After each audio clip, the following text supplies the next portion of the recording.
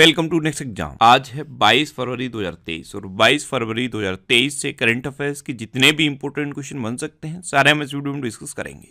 और हर क्वेश्चन से रिलेटेड इंपॉर्टेंट फैक्ट भी मैं आपको बताऊँगा तो आप पूरा वीडियो बहुत ध्यान से देखिए। लास्ट में मैं आपसे क्वेश्चन पूछूँगा, उसका आंसर आपको कमेंट बॉक्स में बताना है। आज की इस वीडियो की पीडीएफ फ़ाइल आप इस वीडियो के डिस्कशन से डाउनलोड कर सकते हैं। पीडीएफ आप हमारे टेलीग्राम ग्रुप से भी डाउनलोड कर सकते हैं। टेलीग्राम ग्रुप पर आपको सारी पीडीएफ एक साथ मिल जाएँगी। और टेलीग्राम ग्रुप का लिंक मैंने इस वीडियो के डिस्क्रिप्शन में दे दिया है तो आप उस लिंक पर क्लिक करके टेलीग्राम ग्रुप ज्वाइन कर सकते हैं। तो चलिए स्टार्ट करते हैं। पहला क्वेश्चन है, हाल ही में अंतर्राष्ट्रीय मातृभाषा दिवस कब मनाया गया है? तो अभी 21 फरवरी को अंतर्राष्ट्रीय मातृभाषा दिवस मनाया गया। तो इस क्वेश्चन का बे ऑप्शन सही है। भाषा विज्ञान के बारे में जागरूकता बढ़ाने सांस्कृतिक विविधता तथा बहुभाषावाद को बढ़ावा देने के लिए हर साल 21 फरवरी को अंतर्राष्ट्रीय मातृभाषा दिवस मनाया जाता है। अच्छा एक फरवरी को इंडियन कोस्ट गार्ड का स्थापना दिवस मनाया गया। दो फरवरी को विश्व आर्द्र भूमि दिवस मनाया गया। चार फरवरी को विश्व कैंसर दिवस और अंतर्राष्ट्रीय मानव बंधुत्व दिवस मनाया गया। अच्छा एक तो विश्व दिवस होते हैं, एक अंतर्राष्ट्रीय दिवस होते हैं और एक राष्ट्रीय दिवस होते हैं। इन तीनों में अंतर क्या होता है? देखो, जो राष्ट्रीय दिवस होते हैं, वो एक कंट्री में मनाए जाते हैं। जो अंतर्राष्ट्रीय दिवस होते हैं, वे एक से ज़्यादा कंट्री में मनाए जाते हैं। और जो विश्व दिवस होते हैं, वो दुनिया के हर कंट्री में मनाए जाते हैं। तो ये तीनों में डिफरेंस आप याद रखिए। अच्छा अभी सात फरवरी को सेफर इंटरनेट डे मनाया गया। दस फरवरी को विश्व दलहन दिवस मनाया गया। ग्यारह फरवरी को विश्व यूनानी दिवस मनाया गया और ग्यारह फरवरी को ही विज्ञान में महिलाओं और लड़कियों का अंतर्राष्ट्रीय दिवस मनाया गया। बारह फरवरी को अंतर्राष्ट्रीय डार्विन दिवस मनाया गया। तेरह फरवरी को विश्व रेडियो दिवस मनाया गया। अब आप अंतर्राष्ट्रीय दिवस, विश्व दिवस और राष्ट्रीय दिवस में कभी कंफ्यूज मत होना। पंद्रह फरवरी को अंतर्राष्ट्रीय बाल कैंसर दिवस मनाया गया। सत्रह फरवरी को वैश्विक पर्यटन लचीलापन दिवस मनाया गया। उन्नीस फरवरी को छत्रपति शिवाजी महाराज की जयंती मनाई गई और आठवां मृदा स्वास्थ्य कार्ड दिवस भी उन्नीस फरवरी को मनाया गया। बीस फरवरी को पराक्रम दिवस मनाया गया और बीस फरवरी को ही विश्व सामाजिक न्याय दिवस मनाया गया। तो फरवरी में अब तक इतने इंपॉर्टेंट डे बनाए गए हैं, ये आपको याद रखने हैं। अच्छा आज की इस वीडियो का हम टारगेट रखते हैं चालीस या लाइक का। तो अगर ये वीडियो आपको अच्छा लगता है हेल्पफुल लगता है, तब आप इस वीडियो को लाइक और शेयर ज़रूर किया करो। और मैं आपको भी बोलता हूँ डेली मॉर्निंग में उठकर सबसे पहले अपने लिए एक टारगेट फिक्स करो। चाहे छोटा सा ही टारगेट फिक्स करो, लेकिन डेली मॉर्निंग में उठकर सबसे पहले अपने लिए एक टारगेट फिक्स करो और फिर अपना पूरा दिन उस टारगेट को अचीव करने में लगा दो। आपकी लाइफ ऑटोमेटिकली अच्छी हो जाएगी। नेक्स्ट क्वेश्चन है हाल ही में ला गणेशन ने किस राज्य के इक्कीसवें राज्यपाल के रूप में शपथ ली है? तो ला गणेशन। इन्होंने अभी नागालैंड के इक्कीसवें राज्यपाल के रूप में शपथ ली। तो इस क्वेश्चन का डे ऑप्शन सही है। ये है ला गणेशन। ये अब नागालैंड के इक्कीसवें नंबर के राज्यपाल बन गए। अब नागालैंड के बने हैं तो ये है मैप में नागालैंड। नागालैंड की कैपिटल क्या है? कोहिमा। नागालैंड के चीफ मिनिस्टर कौन है? नेफ्यू रियो और नागालैंड के अब नए गवर्नर तो यही बने हैं, ला गणेशन। अच्छा वार्षिक ऑरेंज फेस्टिवल 2023 नागालैंड में मनाया गया। तेईस में हॉर्नविल फेस्टिवल की मेजबानी नागालैंड करेगा। एनईवीए कार्यक्रम को लागू करने वाला पहला राज्य नागालैंड बना है। केंद्रीय कृषि मंत्री ने नागालैंड में हनी टेस्टिंग लैब का उद्घाटन किया और नागालैंड के मुख्यमंत्री ने सार्वभौमिक स्वास्थ्य बीमा योजना शुरू की है। नेक्स्ट क्वेश्चन है।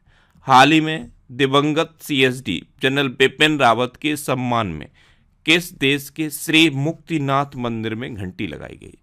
तो हमारे पूर्व सीएसडी थे जनरल बिपिन रावत। इनके सम्मान में श्रीलंका के श्री मुक्तिनाथ मंदिर में घंटी लगाई गई। तो इस क्वेश्चन का बे ऑप्शन सही है। अब श्रीलंका तो ये है मैप में श्रीलंका। श्रीलंका की कैपिटल क्या है? कोलंबो और श्री जयवर्धनेपुरम कोट्टे। कोलंबो कॉमर्शियल कैपिटल है और श्री जयवर्धनेपुरम कोट्टे एडमिनिस्ट्रेटिव कैपिटल है। श्रीलंका की करेंसी क्या है? श्रीलंकन रूपी। श्रीलंका के प्रेजेंट टाइम पे प्राइम मिनिस्टर कौन है? दिनेश गुड़वर्धन और श्रीलंका के प्रेजेंट टाइम पे प्रेसिडेंट कौन है?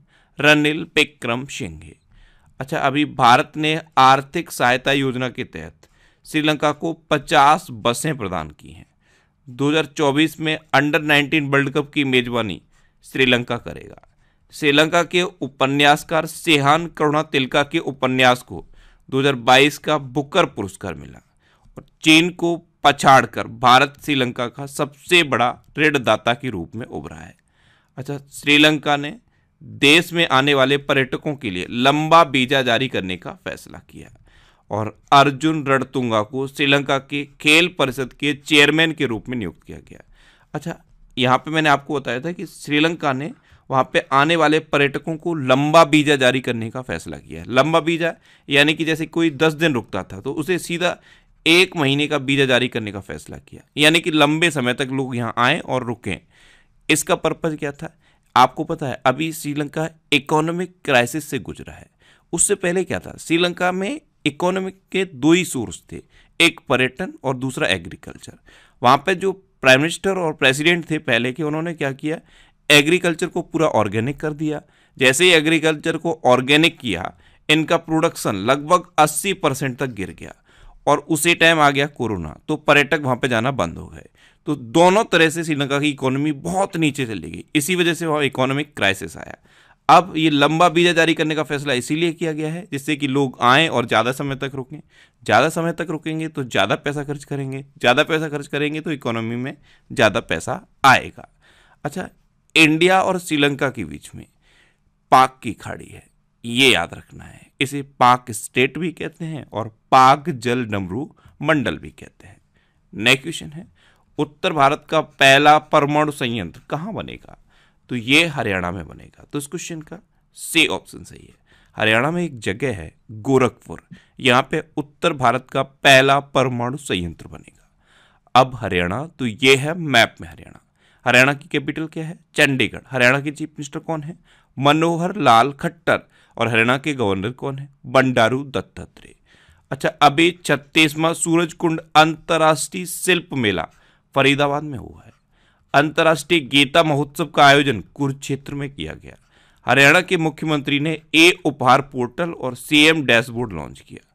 हरियाणा सरकार ने पालतू कुत्तों का पंजीकरण अनिवार्य कर दिया है। सामाजिक, आर्थिक और राजनीतिक न्याय में हरियाणा सर्वश्रेष्ठ राज्य घोषित हुआ है। हरियाणा में कालेश्वर नेशनल पार्क है, सुल्तानपुर नेशनल पार्क है, खोली रेतन वाइल्ड लाइफ सेंचुरी है, बेर से सिकारगढ़ वाइल्ड लाइफ सेंचुरी है, नाहर वाइल्ड लाइफ सेंचुरी है, चिलचिला वाइल्ड लाइफ सेंचुरी है और खपरवास वाइल्ड लाइफ सेंचुरी है। नए क्वेश्चन है। हाल ही में दादा साहेब फाल्के अंतर्राष्ट्रीय फ़िल्म समारोह 2023 में किस फ़िल्म को फ़िल्म ऑफ़ द ईयर चुना गया। तो आर आर आर मूवी को दादा साहेब फाल्के अंतर्राष्ट्रीय फ़िल्म समारोह 2023 में फ़िल्म ऑफ़ द ईयर चुना गया। तो इस क्वेश्चन का बे ऑप्शन सही है। नए क्वेश्चन है। हाल ही में भारत के अस्सीवें नंबर के ग्रैंड मास्टर कौन बने हैं? तो अभी विग्नेश एन आर भारत के अस्सीवें नंबर के ग्रैंड मास्टर बने। तो इस क्वेश्चन का ए ऑप्शन सही है। ये हैं विग्नेश एम आर और यही भारत के शतरंज के अस्सीवें नंबर के ग्रैंड मास्टर बने हैं। अच्छा छिहत्तरवें नंबर के शतरंज ग्रैंड मास्टर बने थे प्रणव आनंद। सतहत्तरवें नंबर के ग्रैंड मास्टर बने आदित्य मित्तल। अठहत्तरवें नंबर के ग्रैंड मास्टर बने कौस्तुभ चटर्जी। उनासी में नंबर के ग्रैंड मास्टर बने प्रनेश एम। और भारत की तेईसवीं महिला शतरंज ग्रैंड मास्टर बनी है प्रियंका नुटक्की। नेक्स्ट क्वेश्चन है, हाल ही में भारत और मिस्र ने कहा तीसरी आतंकवाद विरोधी संयुक्त कार्य समूह की बैठक आयोजित की है। तो अभी अपने देश, भारत और मिस्र ने तीसरी आतंकवाद विरोधी संयुक्त कार्य समूह की बैठक नई दिल्ली में आयोजित की। तो इस क्वेश्चन का से ऑप्शन सही है। अब मिस्र यानी कि इजिप्ट तो ये है मैप में इजिप्ट। इजिप्ट की कैपिटल क्या है? काहिरा। इजिप्ट की करेंसी क्या है? Egyptian pound. और इजिप्ट के प्रेजेंट टाइम पे प्रेसिडेंट कौन है? अब्दुल फतेह अल सिसी ये इस बार के गणतंत्र दिवस पर हमारे चीफ गेस्ट थे। नए क्वेश्चन है।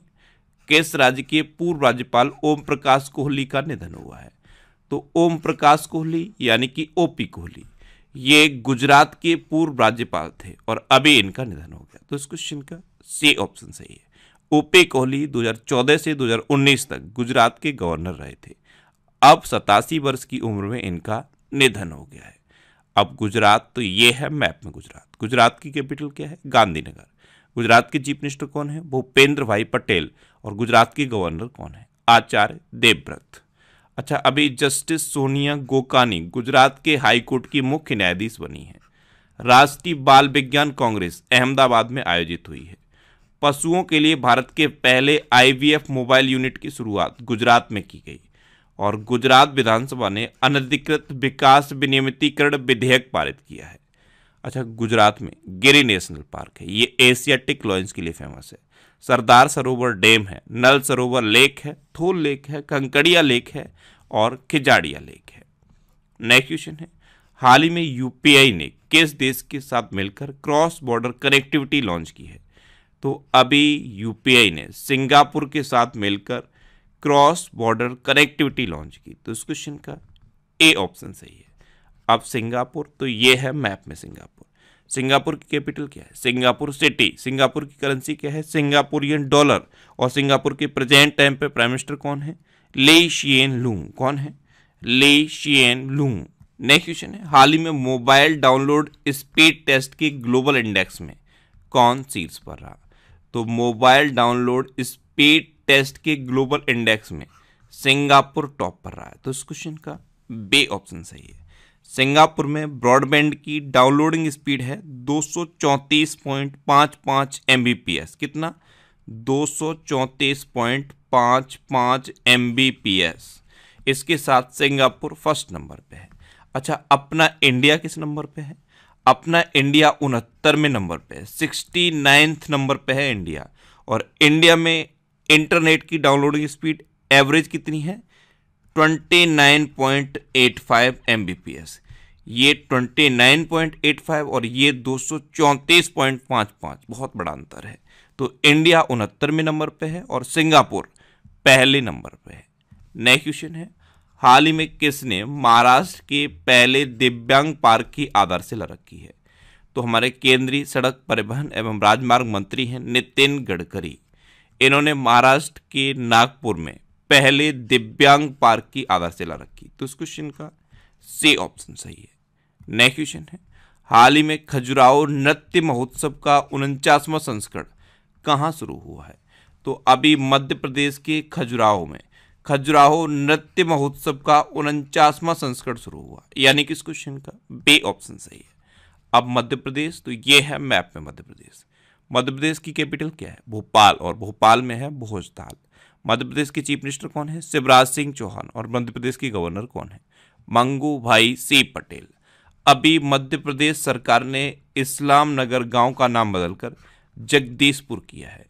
खेलो इंडिया यूथ गेम्स 2022 का पांचवा संस्करण मध्य प्रदेश में शुरू हुआ है। मध्य प्रदेश के मुख्यमंत्री ने लाडली बहना योजना की घोषणा की। और मध्य प्रदेश सरकार ने मुख्यमंत्री आवासीय भू अधिकार योजना शुरू की है। मध्य प्रदेश में कान्हा, बांधवगढ़, माधव, संजय, पन्ना और सतपुड़ा नेशनल पार्क है। इतना आप मध्य प्रदेश के बारे में याद रखिए। नेक्स्ट क्वेश्चन है। हाल ही में पश्चिम और मध्य के लिए पहली पीएम गत शक्ति कार्यशाला कहाँ आयोजित की गई? तो ये गोवा में आयोजित की गई। तो इस क्वेश्चन का बे ऑप्शन सही है। अब गोवा तो ये है मैप में गोवा। गोवा की कैपिटल क्या है? पड़जी गोवा के चीफ मिनिस्टर कौन है? प्रमोद सावंत और गोवा के गवर्नर कौन है? पे एस श्रीधरन पिल्लई। अच्छा अभी केंद्रीय मंत्री भूपेंद्र यादव ने गोवा में आर्द्र भूमि बचाओ अभियान शुरू किया। गोवा सरकार ने the vision for all school eye health कार्यक्रम शुरू किया। भारत के दूसरे सबसे लंबे केबल स्थित आठ लेन जुआरी ब्रिज का उद्घाटन गोवा में हुआ।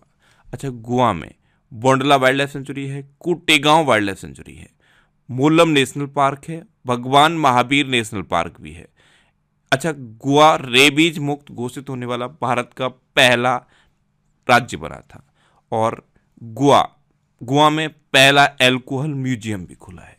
इतना आप गोवा के बारे में याद रखिए। नेक्स्ट क्वेश्चन है। हाल ही में I S S F world cup में किस देश ने 10 metre air pistol mixed team का गोल्ड जीता है? तो अभी अपने देश भारत ने I S S F world cup में 10 metre air pistol mix team का गोल्ड जीता। तो उस क्वेश्चन का ए ऑप्शन सही है। नेक्स्ट क्वेश्चन है। हाल ही में किस मेट्रो ने पहली बार ट्रेन नियंत्रण और पर्यवेक्षण प्रणाली शुरू की है? तो अभी दिल्ली मेट्रो ने पहली बार स्वदेशी ट्रेन नियंत्रण और पर्यवेक्षण प्रणाली शुरू की। तो इस क्वेश्चन का से ऑप्शन सही है। अब लास्ट वीडियो के क्वेश्चन का आंसर लास्ट वीडियो में मैंने आपसे क्वेश्चन पूछा था कि हाल ही में किस देश की प्रथम मंत्री निकोला स्टर्जन ने इस्तीफा दिया? तो स्कॉटलैंड की प्रथम मंत्री निकोला स्टर्जन ने इस्तीफा दिया। यानी कि इस क्वेश्चन का ए ऑप्शन सही था और लगभग सभी स्टूडेंट ने इसका आंसर सही दिया। मोस्टली स्टूडेंट ने इसके बारे में डिटेल में लिखा।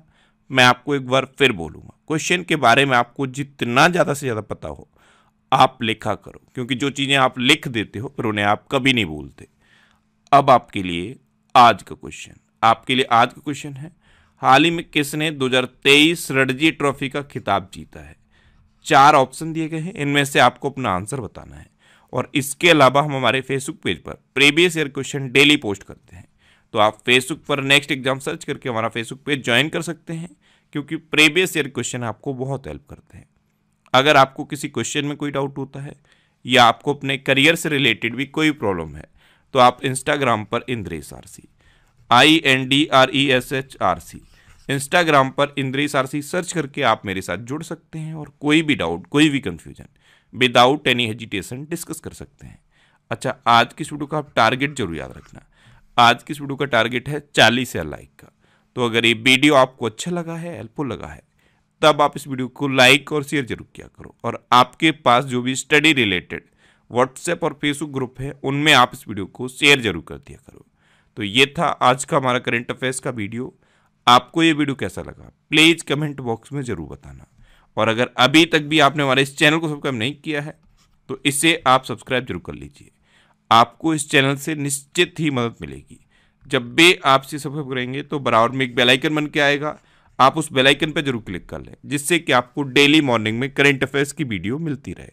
Next exam all best with you thanks for watching